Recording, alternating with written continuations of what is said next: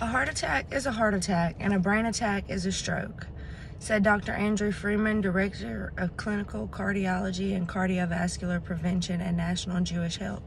Prevention of disability and death is possible if you act quickly.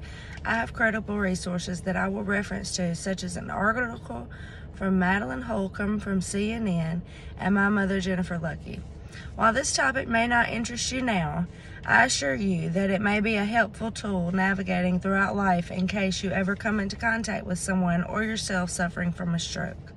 Today, the audience will know the FAST acronym for a stroke and what to do if they ever have symptoms or signs of a stroke.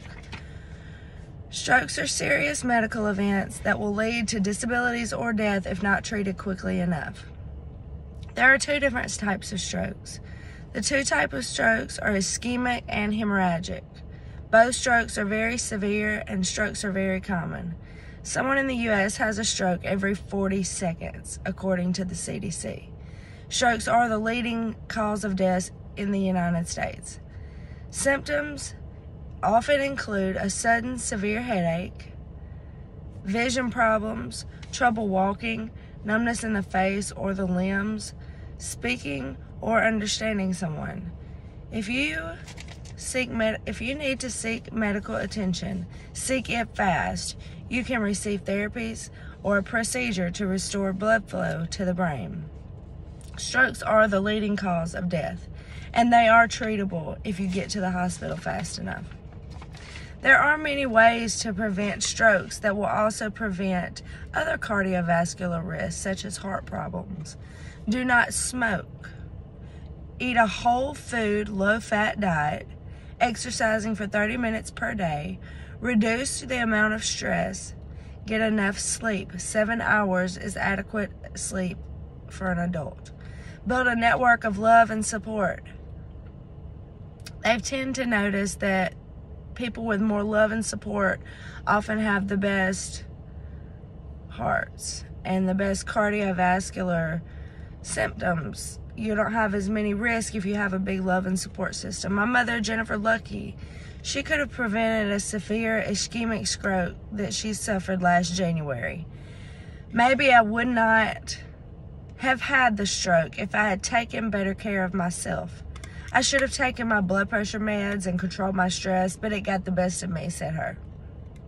Said my mom, Jennifer Lucky. FAST is an acronym used to describe if someone has possibly had a stroke. FAST, the first letter, F, it means face. Check their face. Ask them to smile and make sure one side of their face isn't drooping like this. A stands for arms. Ask them to raise their arm and make sure one arm is not drooping. Make sure both of their arms stay up and they do not have trouble keeping their arms up. S, speech. Ask them to repeat a phrase. If their speech is sluggish or blurred, they may have had a stroke. They may also have trouble understanding you as well. Sometimes people that have had a stroke it's on the side of their brain where they cannot comprehend. T, time.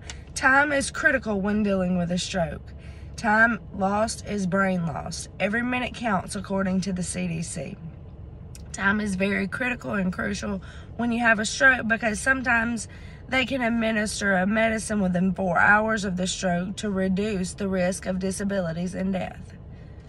The quicker you get to a hospital, the better your chances are slim of disabilities and death, even if you go to a hospital late.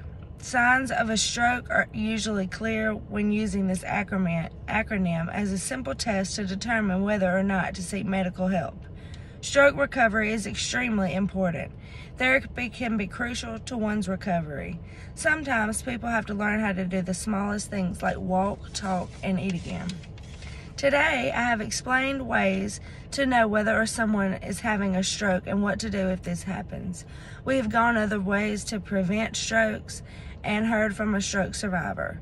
Make the journey as exciting as your destination. Do what you can to prevent strokes and be educated on what to do if one happens.